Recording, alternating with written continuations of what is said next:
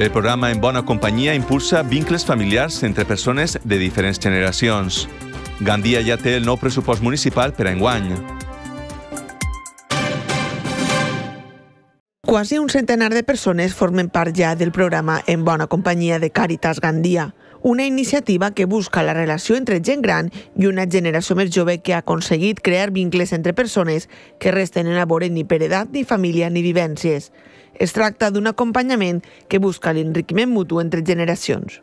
Un programa d'acompanyament en la soledat que involucra quatre centres educatius i tres residències de majors que es va posar en marxa en 2018 i que ara s'ha ampliat amb la participació de 45 alumnes i 36 majors, als qui s'han sumat també diversos professors i fins a pares.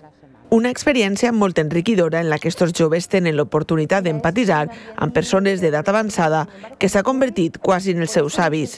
Tot això ha quedat plasmat en un vídeo i així ho expliquen els alumnes. Sí, sí, se crea un vínculo muy, muy grande, más como si fuera tu abuela de verdad, ¿sabes? Y es, es muy bonito. Siempre están preguntando que cómo nos va el cole, qué tal los exámenes, qué hacemos cuando salimos. És la teva amiga, saps? No vens així perquè sí, vens per una raó, perquè t'ho passes bé. Entonces... Una companyia que de manera mútua es fan una vesprada a la setmana i que ha servit per a crear uns llaços d'unió que motiva tant a majors com a joves que esperen durant tota la setmana que arribi este dia. Parlem d'estudis, parlem de la vida, parlem, parlem de, de lo que n'hi ha avui en dia, de tot. Se, és meravellosa, se pot parlar de tot. Un intercambio de edades que no me lo imaginaba, no. O sea, yo no tengo nietos, tengo una hija, pero no tengo nietos, entonces aprendo mucho. Yo creo que él aprende también. He establecido un vínculo con él increíble, no me lo podía imaginar que con una gente joven que no ha vivido mi entorno y que no ha estado así, comprenda perfectamente todos mis, mis problemas, los problemas subios. Tant des de Càritas Gandia com els voluntaris del programa han volgut destacar el treball que realitzen els que ells denominen visitants especials, que són els alumnes de tercer i quart de l'ESO que prefereixen dedicar la vesprada des divendres a visitar a les persones majors en lloc de triar altres propostes d'oci a la seva edat. Mira, es un ambiente mágico. Yo siempre lo digo, es que es mágico porque eh, los, los, chavales, tú fíjate que son edades muy complicadas, 15, 16 años, viernes por la tarde, que es la, la, edad de salir, de quedar con los amigos y sin embargo vienen con esa ilusión que habéis visto vosotros, con esas caras. Genial, había hecho algo que en verdad lo necesitaba y no lo sabía. El plenari extraordinari celebrat esta matí a l'Ajuntament de Gandia, en el qual es debatien els nous pressupostos locals, ha tirat endavant amb els únics vots favorables des dos socis del govern local, PSOE i Compromís Més Gandia Unida. Els que són els últims comptes municipals de la legislatura, amb 95 milions d'euros, han comptat a més amb el rebuig dels populars i l'extensió de regidor no escrit Pascal Renol.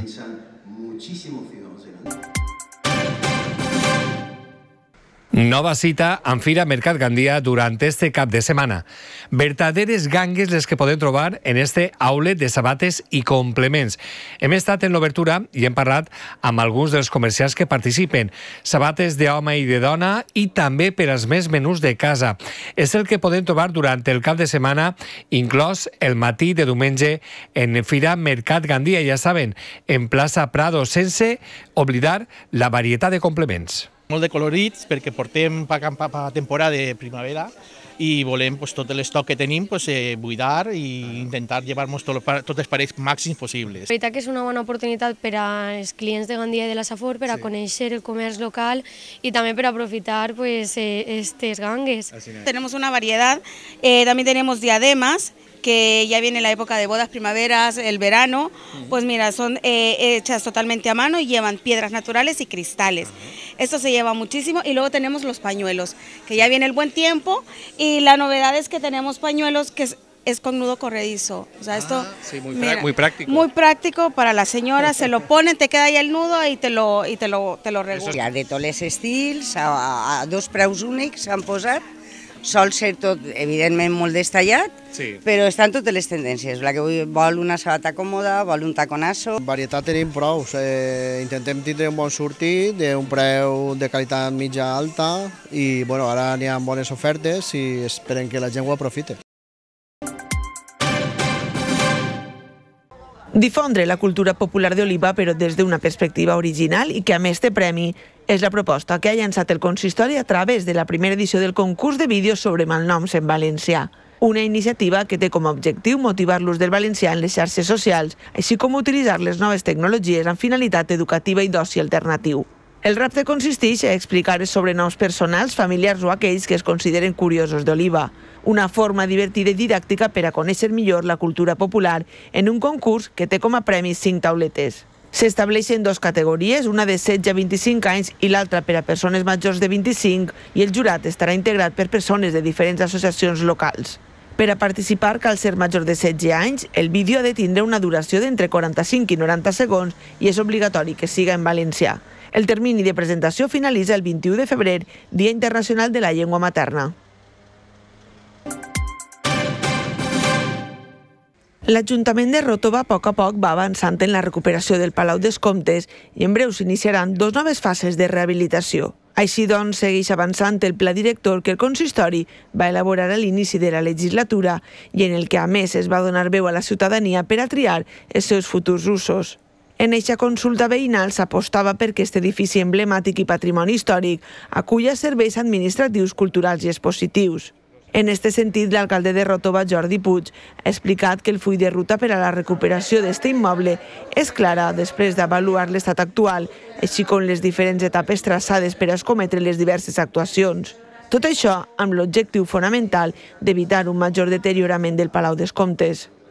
Ja tenim clar quin és l'ordre i en quin estat està el Palau, fins i tot hem, hem treballat de manera participativa amb la població a què vol que, que es destine aquest Palau, que reculliga eh, serveis administratius, culturals, expositius, etc. I ara, en base a aquest document i, i a aquesta conjunció d'idees i, i propostes, ara ja ens toca treballar fort un pla director denominat un projecte de projectes i que ara iniciarà una de les actuacions més importants. Es tracta d'eliminar les filtracions d'aigua en la coberta, que serà possible gràcies al Pla d'Inversions de la Diputació de València. Després serà el moment de condicionar l'interior de l'edifici i millorar la seva accessibilitat. En aquest cas, amb una inversió total de 220.000 euros, gràcies a una subvenció de 150.000 euros de presidència de la Generalitat Valenciana, que es completarà amb una altra ajuda de l'ens provincial.